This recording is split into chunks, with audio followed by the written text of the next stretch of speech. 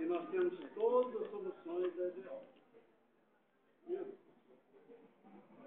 Bem, então, esse exemplo serve para ilustrar quando os coeficientes são múltiplos de funções, Ou função de x é a função de y.